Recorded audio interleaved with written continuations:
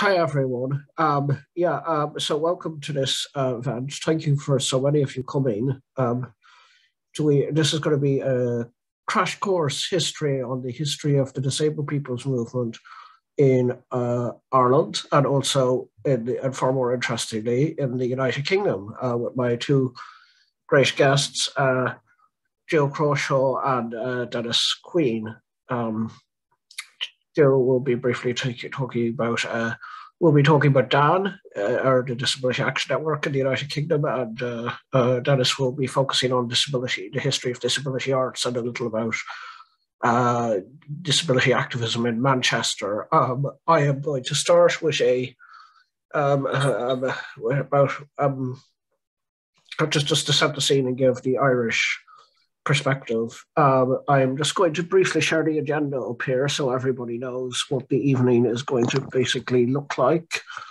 Um, from um, yeah, um,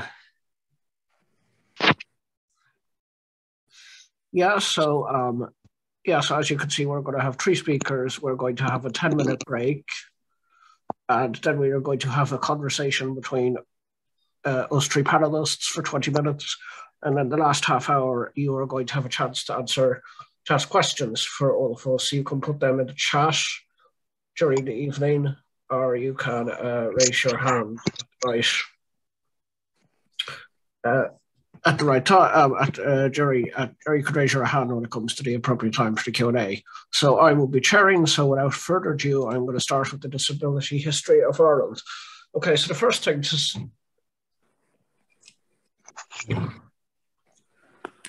the first thing to say about the disabled people's movement in Ireland is it's relatively new. I mean, um, at least in comparison to the UK one. So we don't have the same um, level of history, but that's because Ireland is still relatively new state in comparison. So, uh, I mean, you, when you talk about the history of disability in Ireland, you kind of have to do a lot of guesswork around the edges. It's kind of annoying. So, I mean, you could look back at the colonial period. Um, there was stuff like the poor laws, which were introduced in England in um, 1601. They didn't apply to Ireland, but they kind of had the first written legal code of differentiating some types of people with impairments, such as the blind and the um, the lame, I believe.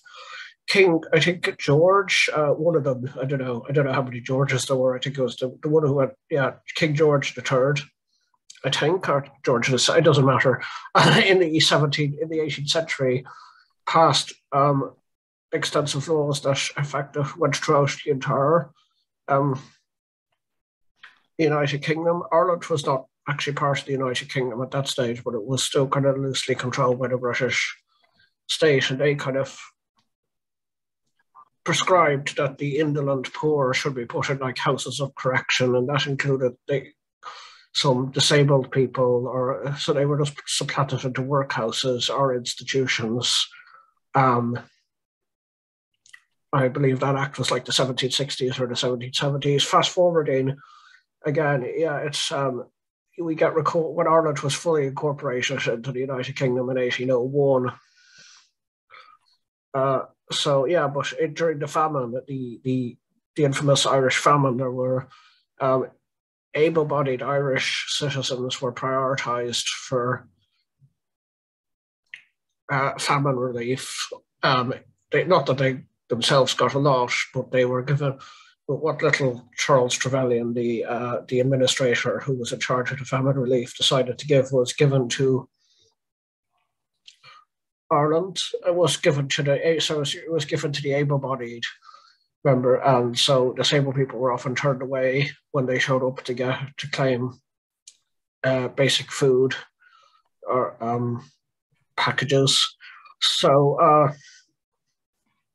uh, you then have kind of, I guess you can see you can see individual store. Um, probably the most famous two people, um, not the, from the 19th century, to rewind a bit into the 18th century there were two um, fairly famous disabled Irish individuals. One was called Charles O'Brien. He was uh, the so-called Irish giant. He had a giant. He had he had large bones. He actually had a brain tumor that eventually killed him. But he was basically he basically hired himself out as an entertainer. Um, and despite his wishes, he wanted he wanted to be buried at sea, but he was actually put um, in the British Museum. Uh, his skeleton was put in the British Museum. I think it was re- removed only recently. Actually, the other figure was a serial killer who was actually uh, paralyzed from the waist down, called Billy, or Billy in the Bowl. It's actually debatable whether he existed. The evidence on it is um, vague, though there seems to be a register of his death. So he may have existed, but he um, apparently begged people for he he moved about by in a bowl, hence the name, really in the bowl, using chains to drag it, and he would uh, rob people or and murder his victims because he was too conspicuous. Um, a robber, so he ended up having to kill them. So you could kind of see from stories like that, maybe tropes around disability, such as the evil cripple when it comes to Billy, or the um, or the kind of the other the circus freak um, when it comes to Charles O'Brien, um, who uh, kind of foreshadows what happens to 19th century uh, so-called freaks uh, with stuff like P.T. Barnum. Uh, anyway, fast forwarding to the independence of Ireland in 1922, uh, the Irish administration, the Free State that took over, didn't really bother to change a lot of British uh, colonial laws at first. So there was so um, uh, so in 1921, for instance, there was um, the one the future prime minister William Cosgrave um, basically was complaining to like the Home Secretary that people, including the orphans, especially the disabled and uh, the destitute, he wished that they would emigrate so that the state wouldn't have to take care of them. Um, so that was kind of the mentality the state approached them with. Uh, our, Ireland was not kind of unique in this regard. We had institutions, disabled people were imprisoned. I guess the only thing that made Ireland more unique was ours was controlled by uh, the Catholic Church. Um, it led to the infamous, horrible atrocities such as the Magdalen laundries and the mother and baby homes, um, where 796 children died and their bodies were dumped down a septic tank, which, um, yeah, um, that we, uh, um, in two, that was only in one home in Tuam County Galway. But um, again, I said you have to do at the beginning. I said you have to do guesswork in Ireland. This is true because you can't.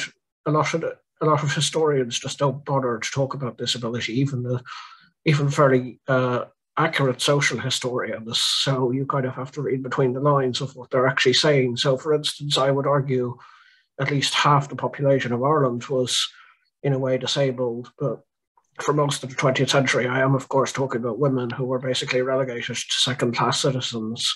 Their um, contraception was initially legal in Ireland after the after the British left, but it was banned in 1938. There was an attempt to legalise it again by the minister for by the Socialist Minister for Health, Dr. Noel Browne, in 1940, sorry, 1951. Um, he himself was disabled. I think he was deaf, but he anyway he was sacked from the government by the, because the Archbishop of Ireland um, at the time told him to basic uh, basically called up the government to say this you can't legalize contraception. So because it's communist plot. Anyway so yeah you have to guess um, a lot of things like that. Uh, we, when it comes to the independent living movement itself um, that doesn't really start to happen until late 80s early 90s martin naughton founded the in the a man named martin naughton who is unfortunately dead um, founded the uh, what the center of first center of independent living movement independent living in uh, Dublin in 1992. Before that, he was also involved with the founding of the European Network on Independent Living in 1989. Um, so yeah, the so the uh, it was so there are over twenty uh, centres of independent living now in Ireland. Um, as I said, we haven't we don't have the same history, uh, longevity as the US or UK. Um, but we are fighting on um, fronts such as personal assistance, um, um, yeah, and uh, employment, um, uh, special, special education. Uh, I mean, the struggles are quite similar to other countries, but I guess the I guess the difference is that it's just more recent in our time. There has been some improvements, like the Disability Act from 2005, which says that at least some public bodies have a um, obligation to not discriminate against disabled people, and there are nominal quotas for disabled people, at least in the civil service. That's not always clear if they're actually acted upon. Um, so yeah, um, Ireland signed the UNCRPD embarrassingly late after everyone else in Europe um, in 2018, but we have not ratified the optional protocol um, because apparently, according to the government, the time is not right. I don't know when the time is right, but uh, apparently not now. Uh, so, yeah, so to conclude, uh, you Ireland is a bit, yeah, you have to read between the lines. Um, I would, as I said, I would say that a large part of the population of Ireland was disabled, as w- women were not basically allowed to do anything except stay more or less at home, um, according to the constitution that was written in 1937. So, uh, so for most of the 20th century, I would say large parts of the population were disabled. Then, of course, you have direct discrimination against disabled people during the famine. That was the colonial period. You have kind of nebulous figures like Charles O'Brien and uh, Billy in the Bowl, um, who might point towards kind of archetypes of how both Irish and English people viewed uh, disability at the time. Um, uh, so yeah, I mean, this is probably this is far from extensive, um, and it, and of course you have institutions like everywhere else. The probably the only real kind of difference is that Ireland's were all controlled by Catholic priests. Um, so the majority of the people locked in the institutions were women and children who were considered fallen women. Obviously, we don't know the percentages of those who were actually disabled, though a lot of people in those institutions were exposed to diseases like tuberculosis also worth pointing out. So, uh, yeah, so yeah, it's a bit of a mixed bag. Ireland is still kind of growing. Ireland is a very young country, and as a consequence of that, our disabled people's movement is young. Um, and as I said, we're generally overlooked by Irish historians, but um, yeah, um, okay, uh, that's enough for me. Uh, so yes, I'm going to pass you on to uh, Joe Crawshaw now. Uh, so take it away, Joel. I'm just unmuting. Hello, everybody. Hi. Hi, my name's Gill. Um, I'm coming to you from Leeds, and uh, thank you for, for having me. Um, yeah, and I'm just going to describe myself as much for the description as to point out that I've been around a while. Um, I'm a woman in her 60s uh, with grey hair. I've got little round glasses on, and I'm sitting in a little box room here. Um, but yes, although I've been, I've been, around for a while, I'm maybe not going to go as far back in history as Pat has just been. I'm going to talk about a specific bit of the disabled people's movement in the UK, and that's uh, the Disabled People's Direct Action Network. Um, and I'll tell you what that is in a minute. I was just struck though um, to hear you say, Paddy, that you know the movement in Ireland hasn't got the history maybe that the UK has or the US has. Um, but nonetheless, there's 20 centres for independent living, which sounds actually sounds pretty good going. I don't know how many there are here in England, even. I don't know. Um, yeah, but it, it must be comparable, really. because some have shut down, some have fallen out of control by disabled people and become something else really. Um, so yeah, yeah, I think you know, yeah, don't worry about that too much. It's what's happening now and where you're going from now, of course. Okay, then I'm going to talk about DAN, and I'm going to call it DAN, which is short for the Direct Action Network, which is short for the Disabled People's Direct Action Network. Um, and that was and still is um, a national network of disabled people who use tactics um, including blocking roads, occupying buildings, handcuffing themselves to public transport, whether that was buses or trains, um, and sometimes handcuffing themselves ourselves to people. And that was all in the fight for equal rights and freedom for disabled people. Um, DAN's targets included public transport companies, they also included charities, local authorities, government and politicians, local and national politicians, and those were reflecting the demands of the wider disabled people's movement because DAN, of course, was a part of that disabled people's movement.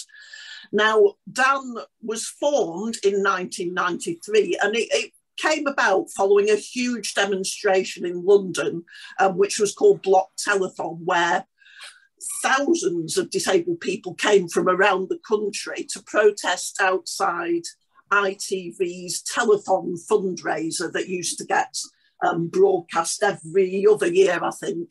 Um, yeah, so that that was how it started. A lot of disabled people came together because they were angry about charity, and maybe you know we'll come back to that perhaps in a bit.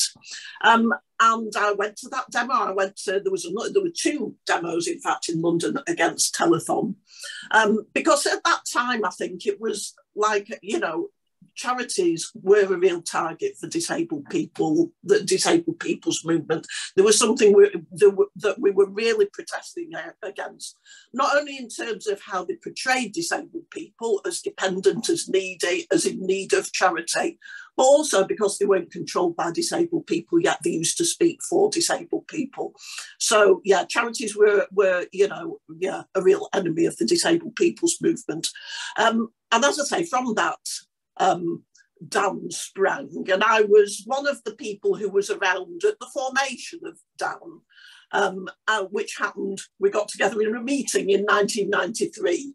Um, we were set up specifically to take direct action. So I think what happened was that, you know, there was a couple of key people, and I don't know whether anybody's seen it, um, you know, whether you've seen Then Barbara Met Alan, um, on the television, the TV doc, drama documentary.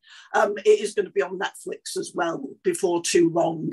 Um, but there were a couple of people who were really pivotal to setting off DAN, and that was Barbara Lisicki and Alan Holdsworth in London. And, um, you know, I think they really had this vision for some sort of national network and pulled together a set of people from around the country to this meeting and a set of people who wanted to take direct action. That was specifically um, what we wanted DAN to do. It wasn't just, yeah, it wasn't going to provide services, it wasn't going to be polite and go and write letters. It was about taking direct action. So, because it, it was a group of people who thought that's really what the disabled people's movement needed at that point. And that was because we were learning from other liberation movements and we were seeing how effective direct action can be. And when I say direct action, I should say that what that means is non-violent civil disobedience. Um, so that's people being prepared to break the law, preparing to get arrested, not necessarily getting arrested. I, I, I never like getting arrested. I would try not to be arrested if possible, but still be doing the actions. But yes, we were prepared to get arrested. Um, and actions were confrontational. They were supposed to be confrontational. Um, they were taking our demands because we were demanding things. We weren't just asking, we were demanding. We were taking out those demands directly to our targets, directly to the public as well. And so, you know, we were being really in your face about it. and yeah, we wanted to get, as I say, we really wanted to get good press coverage as well. And we found that direct action was pretty good for that as well.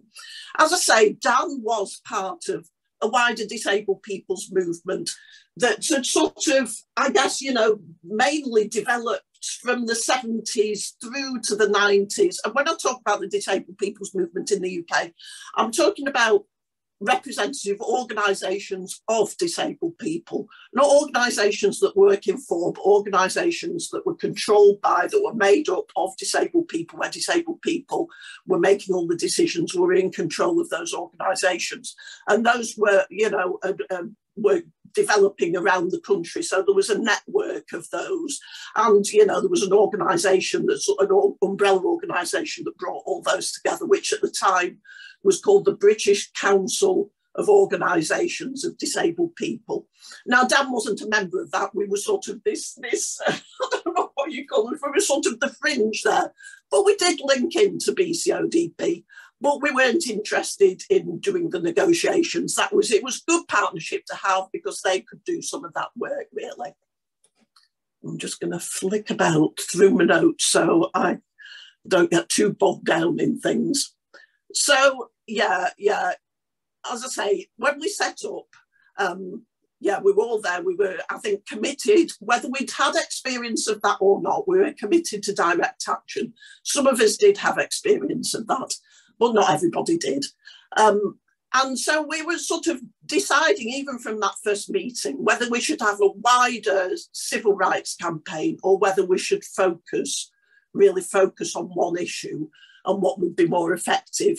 And we decided that our focus at first would be public transport because at that time in the early 90s it was a disaster i'm not saying it's great now but it was a disaster then there was you know were there any i think possibly no accessible buses at all um, in the country? And you know uh, yeah trains you had to book in advance you know people got forgotten about all the time the guys had to get the ramps out they didn't want to people got left on the uh, yeah inaccessible stations all over the place. So it was a disaster. So we decided to focus on public transport. And i think um, and that wasn't to the exclusion of everything else. There were other there were other actions as well, um, but just doing that, I think, was quite. It worked out quite well, and it was quite effective.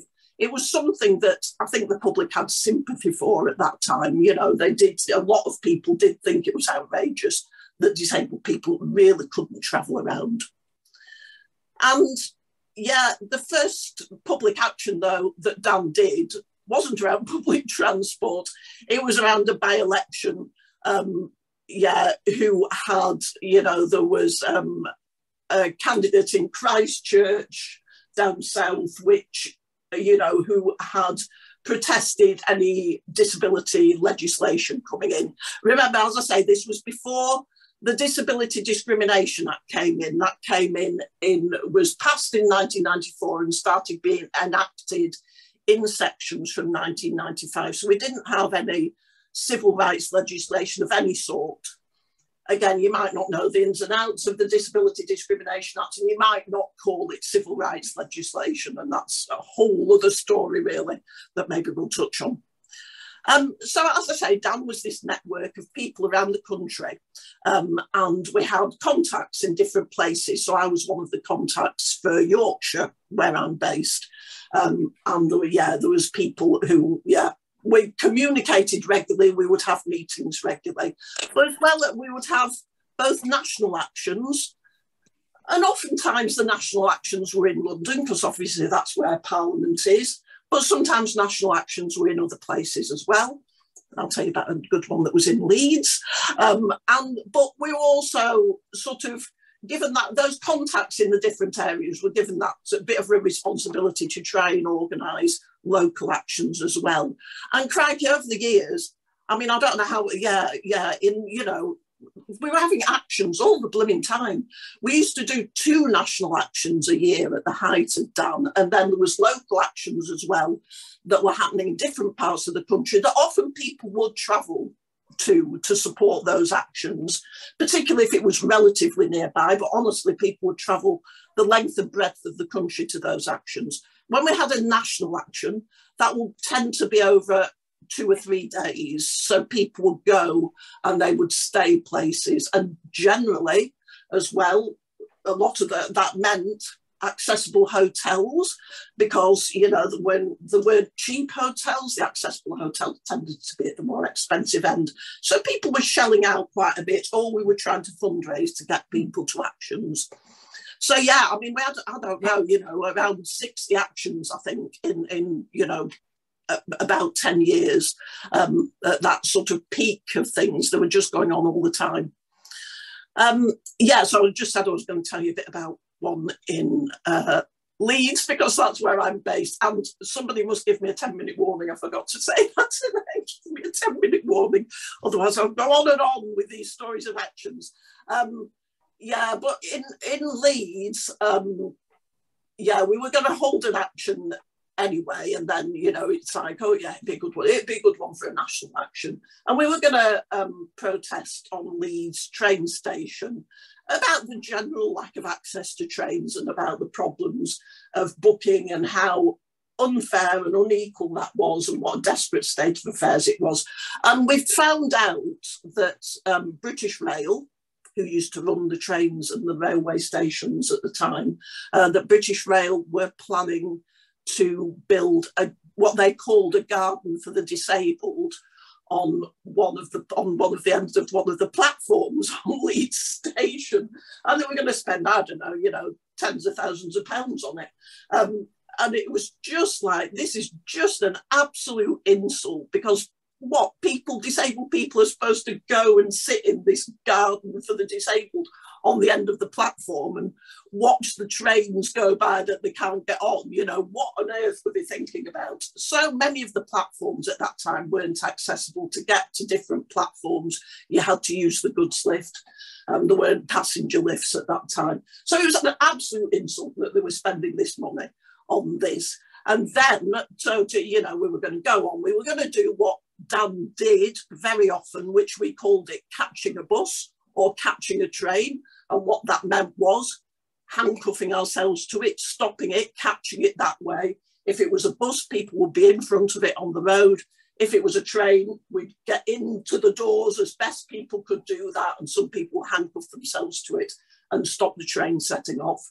And that's what we were planning to do. And then um, we found out that the Garden for the Disabled was going to be opened by none other than Jimmy Savile himself. Now, I'm just going to mention if people don't know who Jimmy Savile is, because I know you, you'll be younger people as well. And yeah, I mean, Jimmy Savile was just, you know, an absolute, um, very famous present television presenter and DJ. He spent a lot of his time raising loads of money, including for disabled people. He raised a lot of money.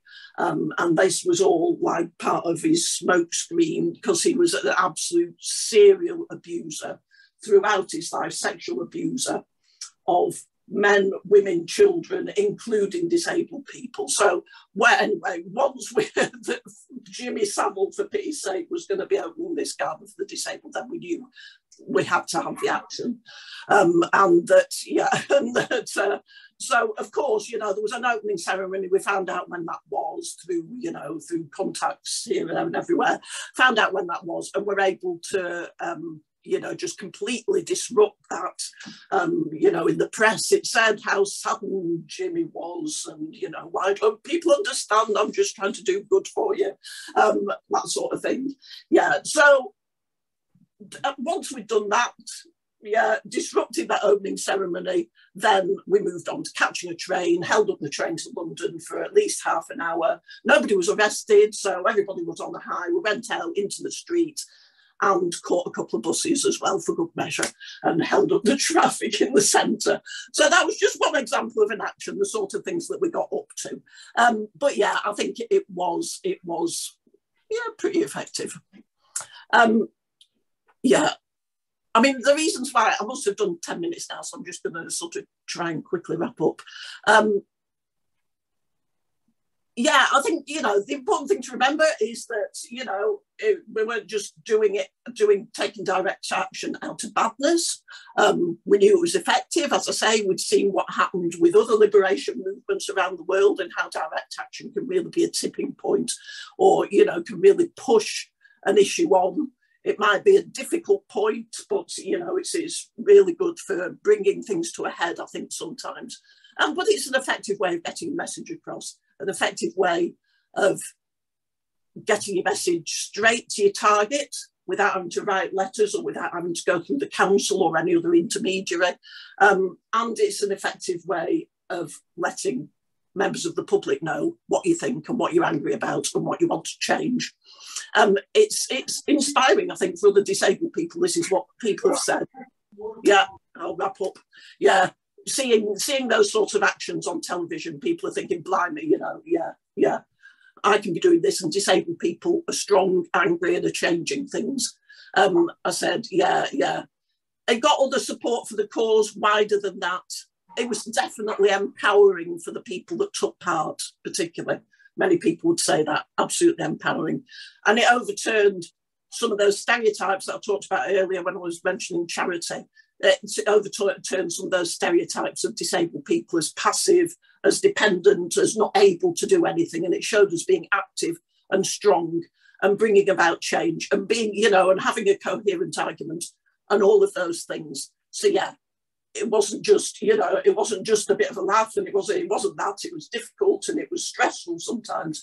Um, but yeah, it was really effective and that's why we do it and i think it was and i think you can't say in a in a movement that you know things changed the disability discrimination act came in because of DAN heaven knows we don't want you to say that because it's a rubbish act but i think you know that debate and the fact that we did get some legislation I think DAN had had a massive influence because we were very out there, we were very in the face, we were on television, in the papers.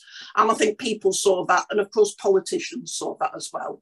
And so I think, you know, I really think it did have an effect. So, yeah, that's probably enough from me. Thank you. Sorry if I ran over, but, you know, chance for questions later. Okay, thank you.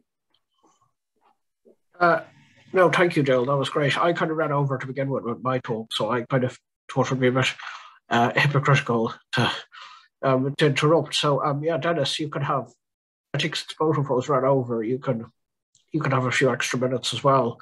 Um, and also, I mean, we can we can kind of come back to stuff as well during the conversation part. So, uh, so I'm now going to introduce Dennis uh, Queen from uh, Manchester, who's going to talk to us about disability, the history of disability arts um, in the UK. Uh, take it away, Dennis.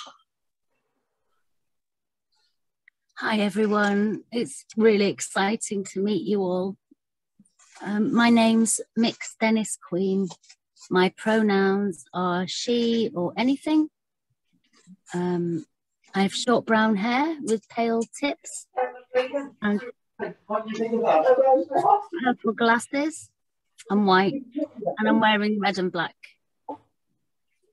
I live in Manchester in England with my wife and three young disabled people and uh, and I'm in my forties, and I'm and I'm transgender. So um, um, in in um, so I've been involved in various kinds of activism, but only since the late 1990s in the disabled people's movement in the UK.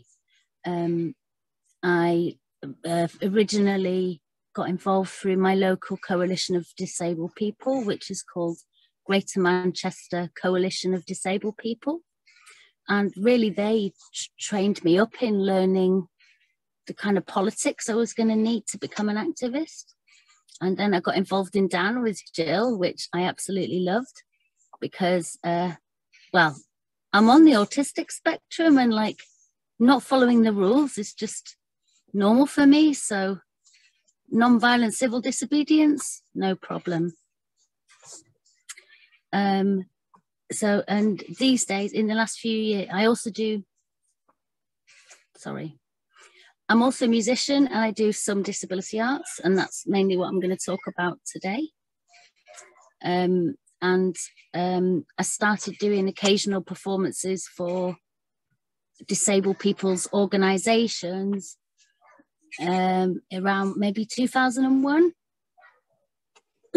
which I absolutely love to do and I don't get enough of doing because I've not never really had the time to seek much work with the music because one we're always busy with like what feels like such urgent activism but also I was home educating my two youngest children for a lot of the last 10 years.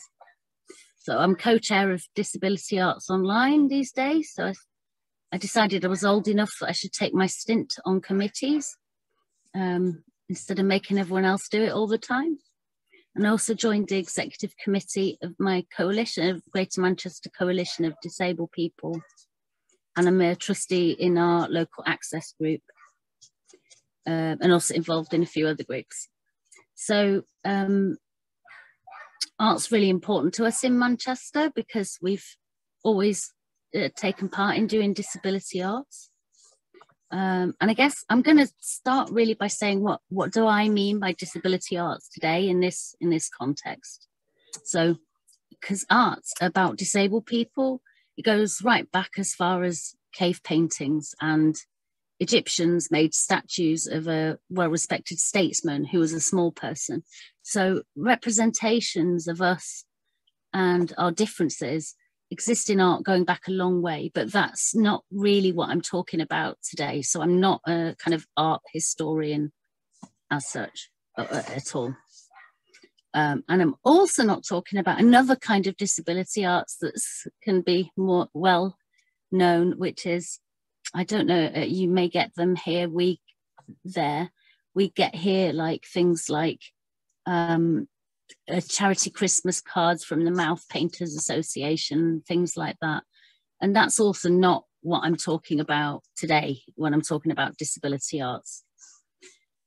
So, what I am talking about is arts relating to our activism in particular, as well as arts around it about our lives and about our politics and the things that we face as people. Um, and disability arts has been around, that kind of disability arts has been around ever since we started doing political activism. So there's various campaigns and actions have happened over many years since the 1970s. So have disabled artists join in.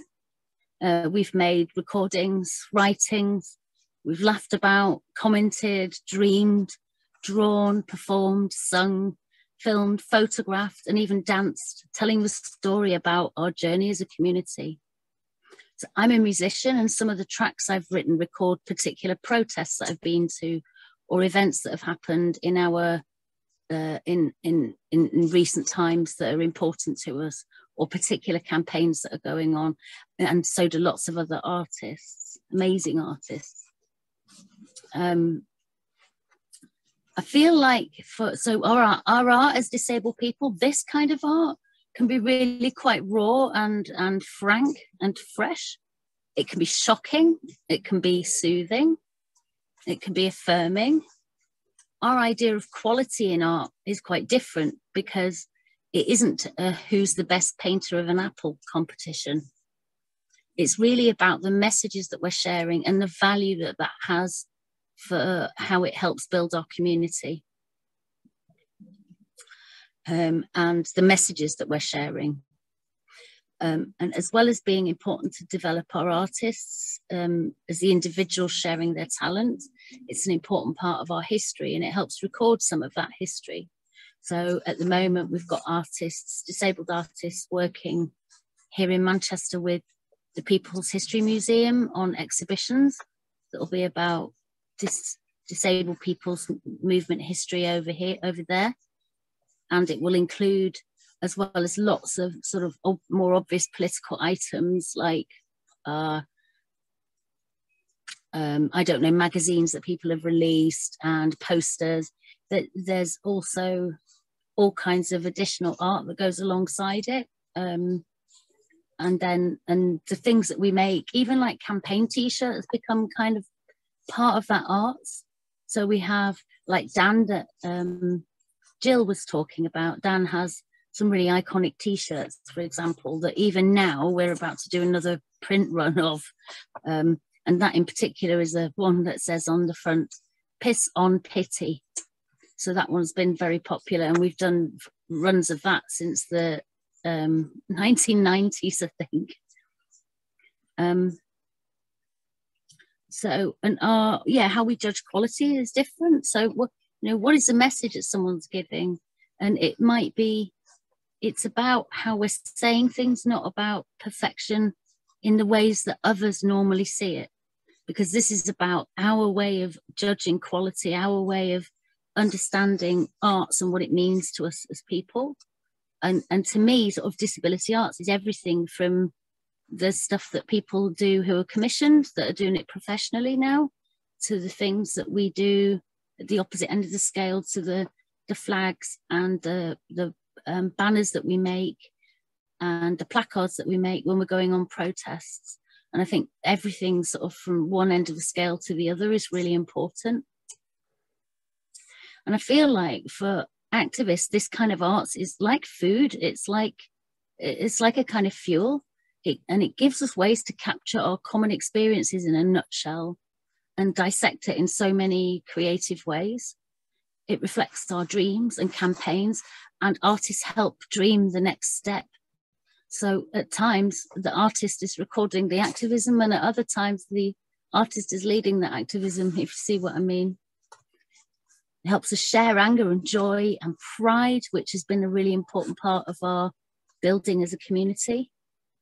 Helps us reinforce campaign messages that people can sing along to, like uh, like there's a song in which Alan Holdsworth, who was in Dan, as mentioned before, has a chant that's in a song that goes proud, angry, and strong. So a lot of us know that.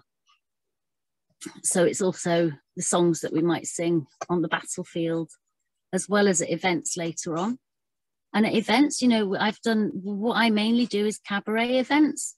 So there'll be lots of different performers doing different kinds of disability art. So I tend to perform myself, like with comedians and um, other kinds of musicians, um, dancers, people who are doing small plays, all kinds of different things. Um, and these shows, the shows that we do, the biggest thing I think that's important there is, is it kind of raises morale um, of other disabled people because it kind of reflects what we're doing doing together. Um,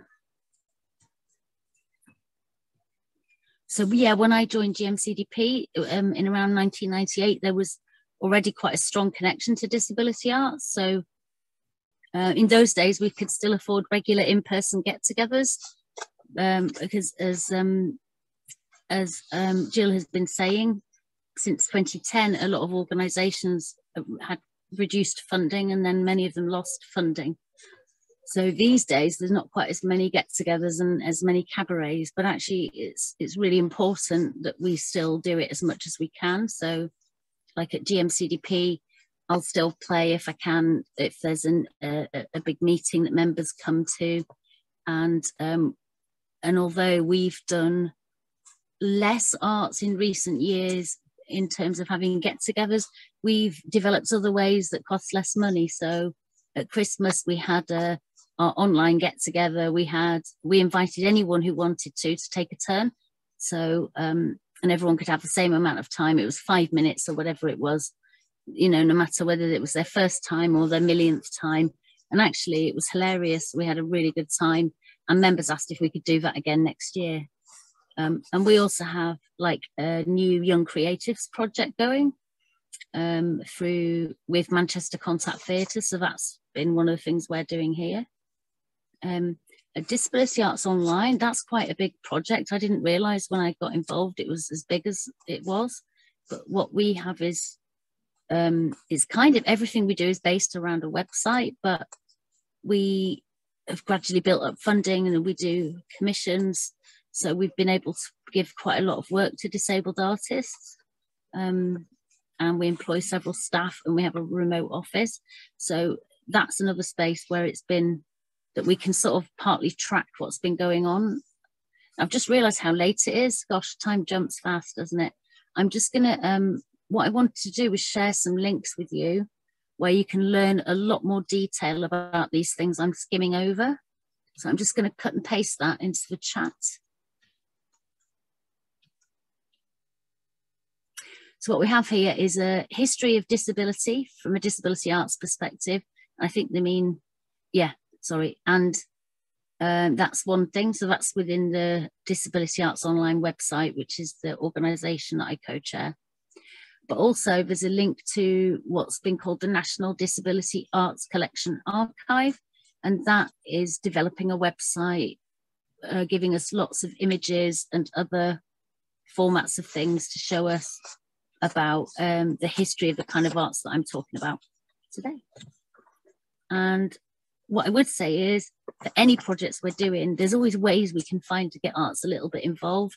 And if you can, it's often a great way for people to join in that don't always find writing their way to join in or don't always find long meetings their way to join in. There's lots of other people who will join in with disability arts, and it's a great way to participate, especially in the beginning. So I think that's probably all I've got to say. But if anyone wants to talk further about any of this at any point, please just get in touch because Peadar can put you in touch with me, I think, if that's all right, Peadar. And lovely to meet you all. Thanks a million, Dennis. And yeah, I will happily pass on any uh, people who want to get in touch with you.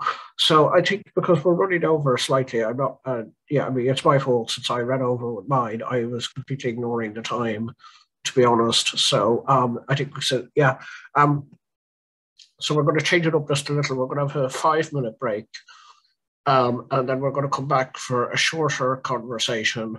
And then we're maybe um, uh, 10 minutes at most, uh, 10 minutes or um, so, and then we are going to go into a Q&A um, before wrapping up. So, uh, welcome back, everyone. We're going to go into a brief conversation and then we are going to go to your questions and answers. Uh, please uh, use the raise hand function when we come to the Q&A and um, Miriam and or Alan will spotlight, will, spot, will, will inform me if your hand is raised because I probably won't be able to see it.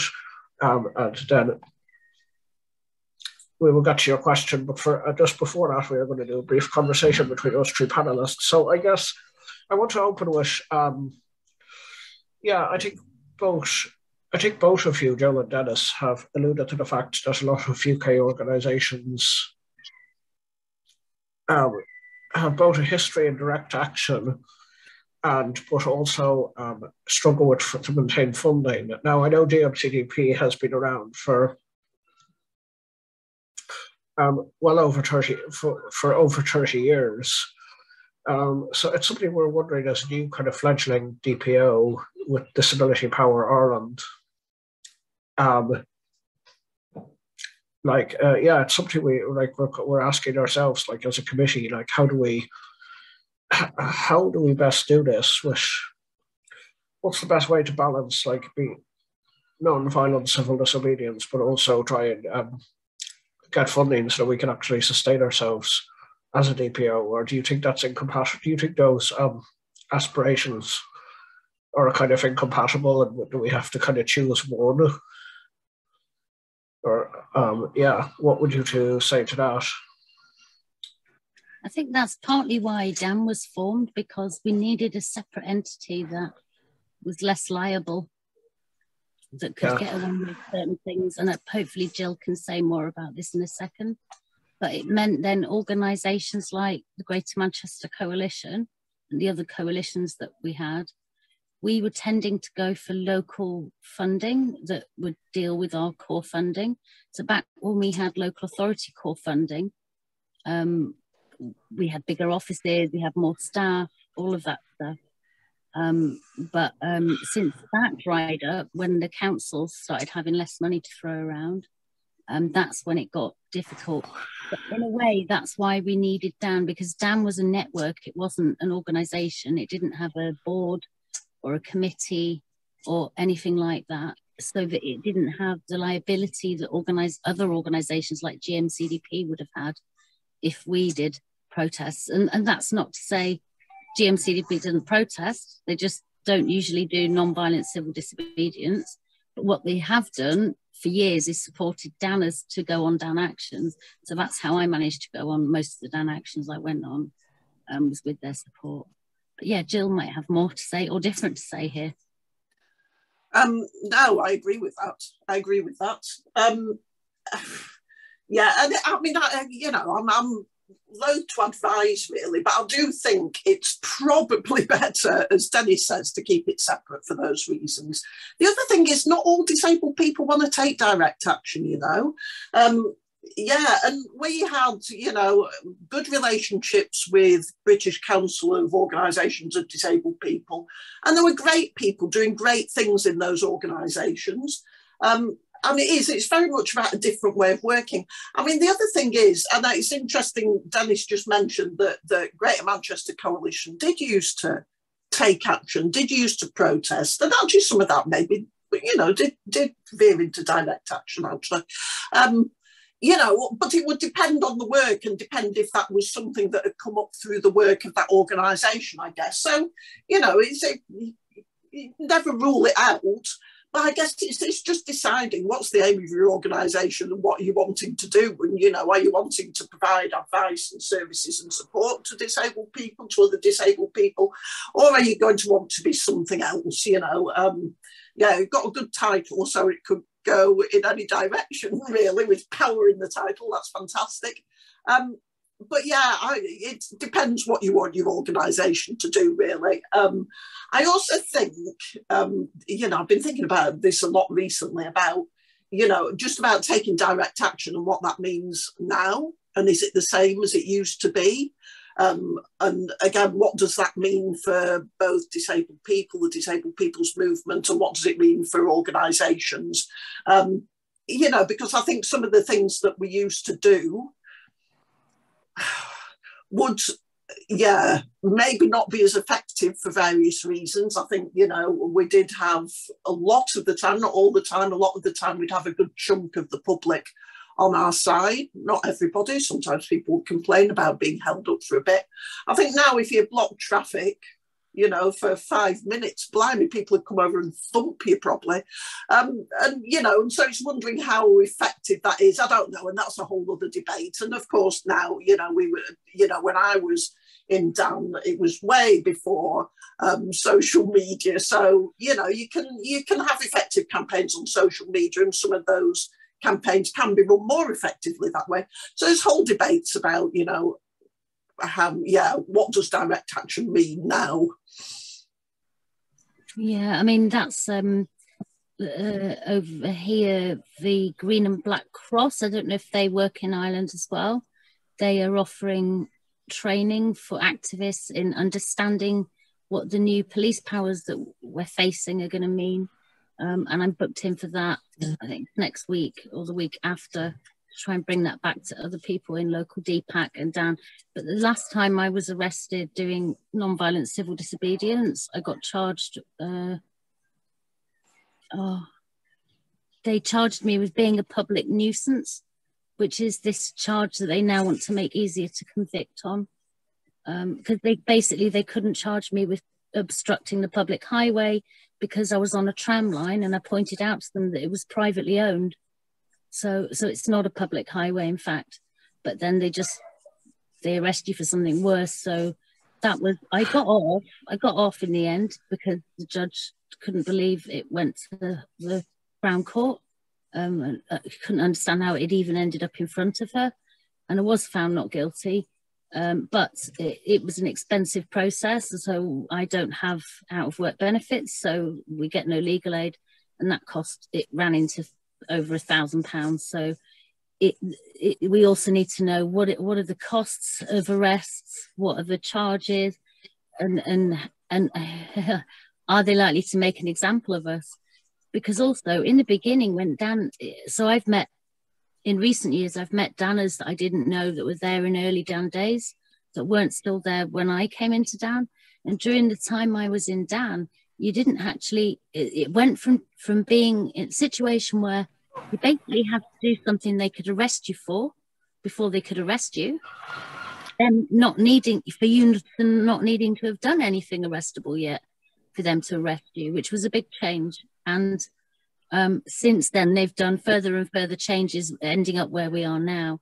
So it, it is a really important consideration. They probably are going to make examples of some people.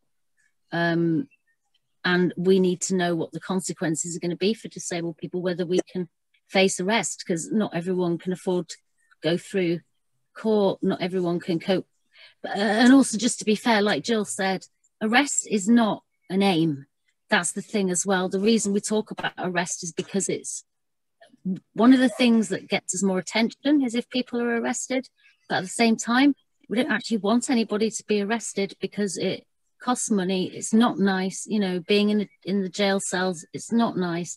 If you've got mental health problems, which which I do, basically for the first half hour, I'm like, yeah, f you, I don't care. And then I remember I absolutely hate it, and then I cry for the next seven hours until they let me go. So you've got to be prepared for it being quite tough in there and also that um, they, you might not have the support you need. So we've had deaf people having not having the interpreters they need.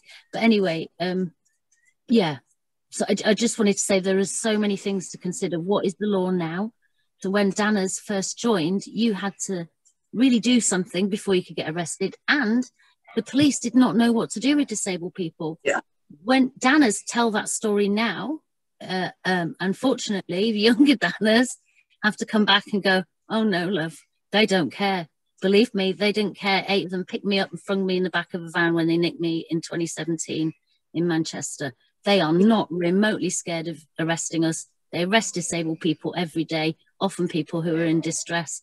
And so it's not, you know, it's it's a very different playing field. So I think it's like important to find out if if your group wants to do protest, find out what what can be done with legal protests, and then also find out you know what is the lay of the land at the moment but other activists who do that kind of direct action if you want to do something more extreme like civil disobedience sorry i think i probably talked too long there but no that was good. That was a yeah really important point really really important point. Yeah it is you know any any i don't know you know goodwill that was around in the 90s towards disabled protesters. Well that's long gone now. That's long gone now.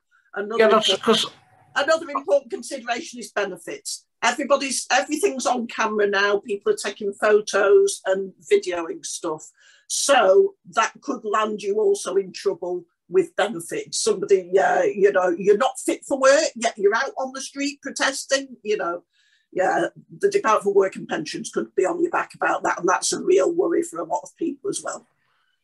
Yeah, I mean, I was going to say, I don't think Ireland's laws are quite as authoritarian yet when it comes to arresting, but we're probably getting there, especially because, um, yeah, our, our Minister for Justice, um, I think, is a bit authoritarian. It's hard to tell because she's part of a political party that usually frames itself as being part of the party of law and order, but she, um, I think she has leadership ambitions, so I don't know if, if, if, if that happens, it might be a interesting. Uh, interesting, I mean terrifying.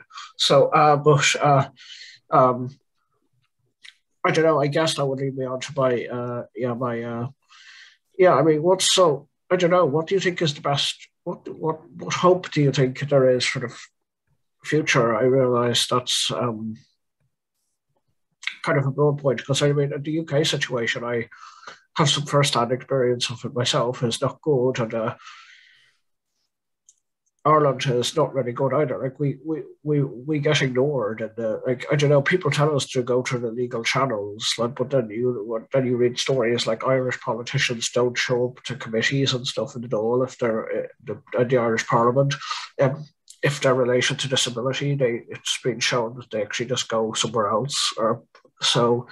Um, it's basically it's not an electoral issue. I mean, even as I said in my talk, Ireland signed the UN CRPD, but we didn't actually sign the optional protocol, so we can't actually legally challenge the government internationally as a consequence of that. So I don't know, like, what's the, what's the, I don't know what. Like, how do you how do you keep yourself optimistic? I guess um, in the UK as a movement, because if you don't want to, if because the because direct action can be terrifying, but also legal, but then legally challenging. But I think that's the, the yeah. thing about direct action, or uh, you know, about that. Well, it's not just DAN at all, not just direct action. Where, where you know, where I have hope is in communities, in networks, in networks of like-minded people, in you know, however you define those communities and where your networks and support come from. Because obviously it's very hard to have hope in political systems at the moment, I think. Um, but you know, I think that's where the hope is more grassroots, more community stuff. Yeah yeah and that's and that's what i'm saying you know DAN was great for that it wasn't just about the action obviously you know it was, it was a massive source of support. Uh, it's a really strong network of people, but that's formed in other organisations and in other ways amongst disabled people as well. And some of that's online, of course. Some of that's a really good source of support. So I think you know, yeah, there's still there's there is hope, but I think I, I find it more there. Uh, and Dennis. Yeah, I think, well, a few things give me hope. One is there's only so much worse it can get. And, uh, and I wonder if it's deliberate that we're being pushed down so that we can stay now in a cycle of scrabbling for the same crumbs back, right? Um, what the, the positive side is that actually, you know, as oh, several things happened in the, the whole movement, as it, I when I entered the movement in the late 90s, it was shrinking a bit um, we had lost people, people had died. Um, it's always been hard bringing in new, younger people. That's always been an issue. Then it was an issue, then it is now. Um, but what the thing that does give me hope is that that I hate to say this, as to some extent, some people had their needs met, and it meant activism got more gentle. I don't want to say it in any more critical a way than that, but I unfortunately once said, you know, maybe if everyone lost their DLA tomorrow, we'd start seeing people out on the streets because we were finding it really hard getting people out to protest, even when approaching 2010 in DAN's final protests, trying to stop the government from making the benefit changes it was going ahead to make anyway. Um, and um, it was so hard to get anyone out at all. And then, unfortunately, people started getting massively shit on you know, they all suddenly lost loads of benefits. And but what it has done is meant that we're starting to come together again more because we need each other. And, I, and that is the positive side of it. So it is a shame we're having to come together, but it's good that we are coming together. And I think one of the lessons we need to learn for next time is that we can't take our foot off the pressure. We can't take the pressure off our foot you know, because the minute you get something, they start trying to knock it out from underneath you. And so it's about, I guess, how we, what we do this time is how we keep mm. that running so that we keep our momentum up once it's going well. Um, I don't know if I've got the answer to it, but, but the hopefulness is that we, we are seeing the movement grow because out of need, basically. And if what we have got also, the other hope I have is that I think, I mean, I might be biased because I'm a parent, so I have three children there. Uh, one's 25 and the other two are 17. And you know, the young people of this generation, I'm telling you something, they are not stupid. These kids have had the world's largest encyclopedia in their own hand, in their own pocket since eight years old. This generation is changing. They're becoming more themselves. They're getting confident. And I do have some real hope in the future. But what we've got to do is make sure we're still reaching out to those young disabled people as much as possible and bringing them and their amazing skills in. Because, you know, maybe they've got the answers that we don't have yet. Mm-hmm. They're so powerful. When I went on the schools protests, I was absolutely amazed. I saw in Manchester hundreds of children un- unplanned take out the same tram lines I'd taken out with really experienced Danners on a DPAC protest just a few years before. None of them knew what they were doing. They didn't have any bus cards. They had nothing. And you know what? They didn't give, they didn't care. And they were so powerful and confident. And I think my hope is in, in these young people. It really is. Yeah, I, I think that's a good place. Um, I think that's an optimistic note to um, end the conversation on. We're just going to go to a quick to some questions and answers from our audience. Um, again, if you want to leave a question, uh, if you want to leave a question or a comment, if you want, um, you can either put it in the. If you don't want to speak, you can put it as a written comment or in the chat. or, or, question in the chat, but if you want to speak, uh, please use the raise hand function. Um, so we'll just give them a few minutes to see if um, Alan or Miriam, if you could just tell me. I, would like to put my hand up. Uh, I can't do it manually, so I'm just doing it verbally. Uh, yeah, yeah, yeah. Go ahead. Yeah. Um. Yeah, like with the, but just to thank you very much for uh, Disability Power Ireland for uh, hosting this tonight. It's been very fascinating, and in particular, thanks to the brilliant guests, including yourself, Peadar, and to Dennis, and to I'm afraid I forget the lady's name from Leeds. Uh, but it, I love the uh, Gill. Gill, sorry, yeah, no, but it's great. Um, but thank you very much. You know, it's it, it's fascinating. But uh, my question is about the DPO movement. Now we have a big quango in Ireland. They employ 40 people called the National Disability Authority. They're no more, they're, they're not really an, an authority, but they've been given that advisory role for the last 20 years or more, 23 years. But the thing is, they had a report on DPOs back in 2020, and they cited Britain as being one of the countries where DPOs, the whole thing had failed because the service providers had completely taken over that space.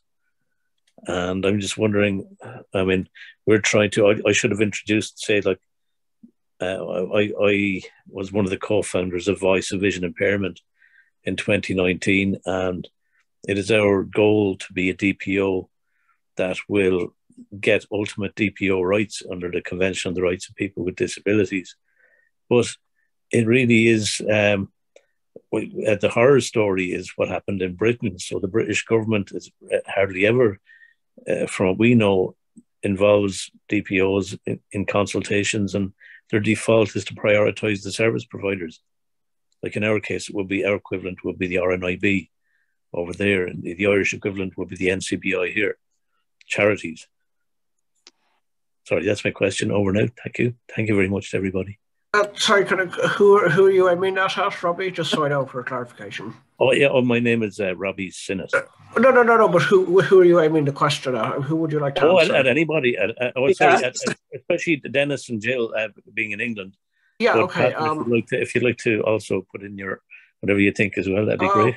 I mean, I will just answer very briefly. Yes, I have views about the uh, National Council of the Blind Ireland. I have a lot of views, but um, and also the RNIB subsequently, and their views overlap quite a bit, and they are not positive. But um, so yeah, but um, no, uh, Dennis or Gill, do you want to take that one? Um. Oh, sorry. Yeah, no. Uh, uh, it's interesting that there's actually been that report that's saying, oh, you know, yeah, the, the DPO experiment has failed. You know, we don't need these organisations of disabled people for whatever reasons. I, I, I don't know. I don't know. I mean, I, yeah, yeah. I'd be interested. I'd be quite interested to read it. Actually, I remember there was um, a centre for integrated living or a centre for independent living in Essex. I think that you know that that they asked their members who were disabled people whether they thought it was important that the organisation remained under the control of disabled people. And obviously, there's ways and ways of asking questions like that of people, aren't there? And of course, you know, and people said, no, we're not really bothered, really. We're not really bothered if this stays an organisation of disabled people. So there's that going on as well. And certainly, um, you know, that, that service provision has really confused the picture at least, uh, you know, yeah, and, and done for a lot of disabled people's organisations because that's where all their efforts gone. And that's where the money is you know and you end up chasing money that isn't really your core business but that's the money you're going to get.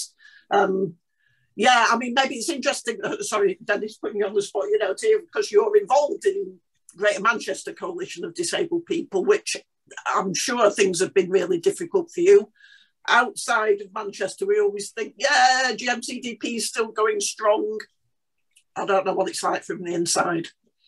Well, I mean, we, we've we've hung in there by the skin of our teeth, but funding wise, it's been a struggle, and it's partly because of that Manchester Greater Manchester Coalition uh, resisted becoming a service provider. It's a discussion we've had many times, and our politics is that we refuse to do that because more than one reason. One of them is because you're too easy to take over by someone who's actually can do it faster.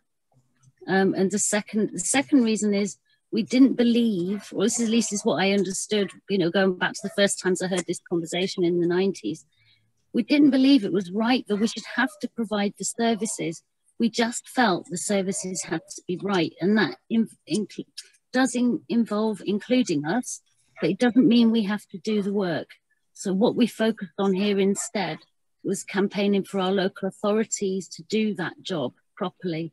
So to make sure that proper social care was happening, to make uh, so we make sure we had a direct payments team, for example, and things like that. So we chose to take that approach. Um, but it was, it was, yeah, partly a political decision and partly one around the fact that we knew we'd we'd end up cornered. Um, so we have projects, but we don't provide services as such, and we have to be we have to think hard sometimes about where that line is, even. Mm-hmm. Okay, um, uh, Alan or Miriam, could you please tell me, does anybody else have their hand up? Hi, Peadar. Yeah, uh, Peter's next. Okay, uh, Peter, go.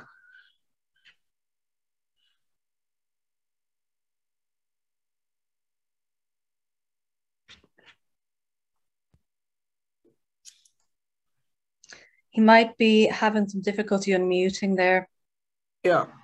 No, uh, sorry, I was unmuted there. Uh, my name is Peter Gohary. I'm the chairman of Physical Impairment Ireland. Uh, we're a new group that's set up here. We're through DPO uh, organization. But I, I, think the biggest thing I think here in Ireland, I think we all need to stick together. You know, every disabled person's organization maybe come under one big umbrella and everyone start driving the message. Like Leo there is our secretary. He's on the group there tonight. I see his hand up as well. Um, but like asking questions and not getting answers to them, I think is totally unfair of our politicians today. You know, they have an onus, they have a duty of care to us, and you know, to come back, answer those questions. And I see even asking the, you know, local TDs, asking them a simple question they were in at different meetings. And a year later, when you'd meet them and you'd ask, why didn't you respond to us or return, you know, come back to us on what you've seen at the meeting? And they have the cheek to say, oh, I didn't know I had to come back. Well, why stay right in front of us, uh, letting us believe that you were coming back to us? I think it's an absolute joke what's going on with them. They don't seem to have a count on anything. And I suppose the other thing which you see going on in Ireland. Sorry, I'm, I'm not used to what goes on in England uh, or Britain. Uh, but like what I see in, in here in Ireland, like kind of is asking able-bodied people what we want is a total joke. You know, it should be us that they should be talking to all the way forward. It's more a comment to have, and I'm sorry. Um, look, I'd like to thank the other sister Robbie there for coming on, you know, as well with us, always giving us uh, guidance on where we're at and what we're doing. So thanks a million for everything. All right. Um. Yeah, thank you, Peter. Um, I mean, I, I mean, I okay. I'll I'll respond just very briefly to that. Yeah, I think um. Yeah, no, I totally agree. I mean, as I said in my thing, I think yeah, politics. It's been shown that politicians don't show up to committee meetings um, in the parliament if they're about disability or uh, talks that I mean, uh, that's obviously not true for all politics. I think opposition party politicians tend to be at least a little better at it, and even they aren't great, but they at least nominally send one or two people, but the government parties don't even pretend. So yeah, you're right. There's a huge. I mean, I don't. I think like the House of Commons, the Dáil or the Irish Parliament Assembly, basically is not wheelchair accessible. Now, I've only been in the door once, so I can't. I'm not a wheelchair user as well, so I can't really comment on that. But if anybody wants to maybe put that in chat to contradict you. If I'm wrong about that, just tell me because I don't know, but I don't think it's wheelchair accessible. I mean, that's, I mean, that's a very bit. that's a basic thing compared to everything else, but it still it shows the lack of it shows the mentality really. Um, it shows the mentality. There's just there's, everything is a war when you try to communicate with the political class, um, and it's exhausting. Okay, I'm cognizant. I don't want to hold people all night, but yeah, I think um, maybe if we take one more um, question, if we take one more question. Um, as a member of the first board of people with disabilities, um, uh, I, w- I stood raising issues back in the 90s and uh, was part of the first board. Uh, so we went on many delegations to Leinster House and went down um, the Minister's Row. And yes, um, it was difficult getting in um, uh, into the Dáil, and uh, the lift upstairs was difficult to, to reach, uh, and stuff like that. Uh, but yes, things have improved. We've had many a committee meeting in um, in in Leinster House and stuff like that over the years. but of the 402 recommendations for the Commission for the Status of People with Disabilities in 1995, 16 were implemented out of uh, 22, and then they undid everything they did. Uh, and they haven't yet reinstated. So the whole principle of the rights-based approach of uh, participation, decision making, um, uh, consultation by people with disabilities as service users and advocates, not service providers that tell us what we need to do and how we have to do it, run by parents and professionals and uh, uh, and uh, public services and stuff like that. Uh, uh, uh, you know, it's very much something that we need to stress.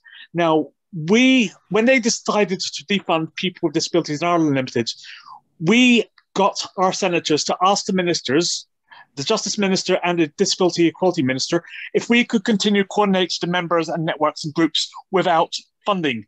And stupidly, they said yes on record in the Seanad. So uh, that's why we re- re- relaunched and rebranded as National Council of People with Disabilities. So we had no funding whatsoever in all of the years. Um, uh, my disability allowance is the sole money of 98% of our expenditure.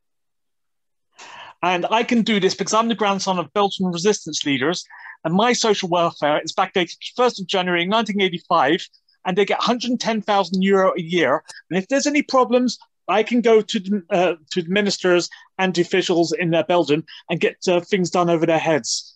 Uh, but I shouldn't have to do this. Uh, but I couldn't get an Irish passport, and I saw it as an opportunity. The fact that um, uh, um, despite being able to vote as an Irish citizen after I was naturalized, the paperwork disappeared.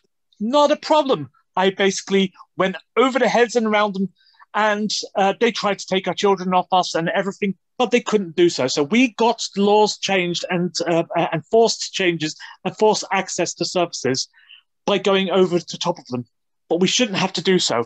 Uh, so we're standing up for the rights of, of consultation, participation, decision making at all levels of government, state and public funded bodies. Okay, thank Nothing you. about us, without us, of, for, run and controlled by a majority of us. Yeah, okay. Uh, thank you, Dermot. Yes, I totally agree. I mean, yeah, I mean, it's uh, it's frustrating that the Parliament, even when they do make recommendations, that they ignore them. Okay, um, uh, okay, I'm going to take one more quick, if anybody has a very quick uh, question, especially for Joe or Dennis, because I'm cognizant that I've just responding to comments for the last two. So if you have a very quick question that you can ask um, that, that you think might have a short answer, um, can you yes, ask it now? Um, hi. Hello, Who's this? Yeah, My yeah. name is Leo. Hi, Leo. Um, the aforementioned Leo, who's the National Secretary of Physical Impairment Ireland. Yeah. Um, I was speaking with a member of Parliament today, actually, here in Ireland, in relation to the United Nations Convention on the Rights of Persons with Disabilities and the optional protocol. This lady told me straight out that our government are absolutely scared, you know what, of ratifying the optional protocol because they feel that it will bankrupt our country. Like we have had issues since Adam was a little boy, let's say, in this country with people with disabilities. You um, highlighted some of them. They basically um, the abuse uh, that was highlighted in the Ryan Commission commission to inquire into child abuse and the effects of people from the years 1936 to um, in or around 1999. A horrific report that was uh, eventually published in 2009. It's basically still known as Ireland's Holocaust because that's basically what they did. But like, I'd like to get um, maybe Dennis and Gill. How do you feel? Do you feel that if the optional protocol of the United Nations Convention was um, ratified, will it bankrupt our lovely little country? Thank you. Uh, Dennis, do you want to go? I don't. I don't know because I don't know. I don't know about the banking arrangements in that way. But what I what I would say is, I think um, a lot of us here are also fighting to try and get the UN CRPD. I hope I got those in the right order. Um, various things within that ratified, like we're, we're doing um, consultations about education at the moment, and a lot of what we're pushing for is those same recommendations. So, I mean, will it bankrupt a country? I don't know. I don't know what you spend your money on over here. They spend a lot of money on things that we'd rather they didn't and things that maybe we don't need and maybe things that we shouldn't do that I think some of us are quite be happy to take the budget away from. Um, exactly. Yeah, they, exactly. They, if they wanted to make the money, they'd make it, you know, make Exactly. it better. Exactly. Money money can be found, can't it, for all sorts of things. Whether that's, you know, good things like yeah. Anyway, yeah. During COVID, a lot of money was found from heaven knows where immediately, you know. Yeah, it's about priorities, isn't it? Of course, it wouldn't bankrupt a country for pity's sake. And, you know, eh, how can you talk in those terms when you're talking about people's lives and people's potential anyway, and how much money is lost there because that potential isn't being realised? It'd be a better question. Yeah, so I'll just briefly um, respond as well, just before we, uh, and then I will close out. So yeah, so back in the 90s, I'm gonna. This is a short story. I promise it's relevant. Back in the 90s, it was our our lovely government back then, um, as opposed to the lovely government we have now. Um, anyway, um, announced that they were going to build a big phallic symbol in the middle of Dublin called a spire. It is now. I wish I could show you photos of this, but look it up on Google. Druggy's needle. it, yes, that. Yeah, but yeah, it's called s- Yeah, anyway, it's a big metal phallic symbol. It cost. I don't know the exact amount, but it costs a lot. Uh, I think it was into the millions. Um, anyway, it's literally has no point whatsoever. And it, anyway, the government basically belongs. I think you can guess where the moral is going. The government found money to put a big giant phallic metal symbol in the middle of Dublin. Um, they said it was going to be a tourist attraction. I have never actually spoken to a tourist ever who has ever remote, re- remarkably remote um, commented on its artistic merits. Um, it is useful though as a, actually a place. If you come to Dublin, it is practically useful if you want to find some as a meeting place because it's so phallic and obnoxiously big and hard to miss.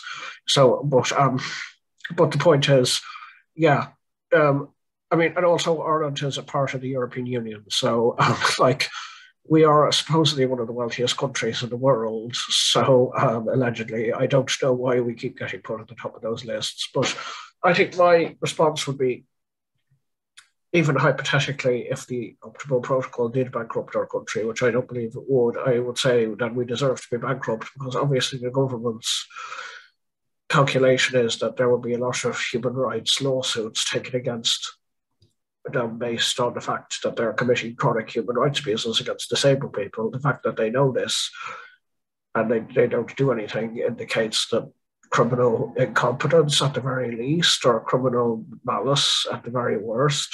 So I would say a country that knows this and refuses to act in advance to preempt this possibly deserves to be bankrupt. Maybe think about that. Um, but I don't believe the optional protocol would bankrupt the country, and I, I don't.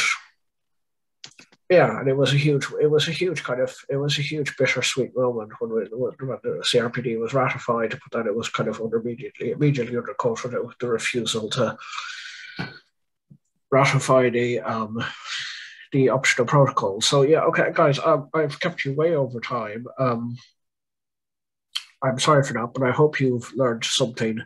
The druggies needle is behind me now. If anybody wants to have a see of it, uh, uh, I did it from screenshot from uh, Google Maps in while you were talking.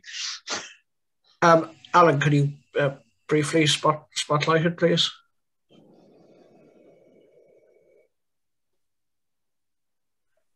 I can forward it on by uh, email to somebody if they want. Uh, yeah, that also works. Okay. Or you can uh, get it yourself uh, from Google yeah. Maps. Uh, okay. Just look up the Spire, Connell Street, Dublin. Yeah, it's uh, it's it's hard to. I actually I only live ten minutes away from it. It's uh, embarrassing, but anyway. Um, but yeah, as I said, no. But yeah, my point with it is, yeah, um, okay, but yeah, okay. That's, so uh, only I only put it up uh, because um, Nelson's uh, column uh, ended up uh, um, uh, in the shop across, and it was embarrassing. Yeah, when yeah. It, when, it, when it was blown up, like. Yeah, yeah, okay, but yeah, that's true. Okay, so thank you everybody for coming. Um, I hope you have had a great time. Uh, thank you for our great speakers, Joe. Crawshaw and Dennis Queen. Thank you for our wonderful technical support, Alan and Miriam Madani, who is also the wonderful chair who is organising this festival from uh, Disability Power Ireland. It is the fest- it's the Pride Festival uh, that we are doing events. This is one of a series in a series of events to run throughout the uh, the month. Miriam is kind of spearheading everything, so it's kind of uh, to her credit that events like this and the other ones take uh, place. So uh, yeah, uh, thank you all.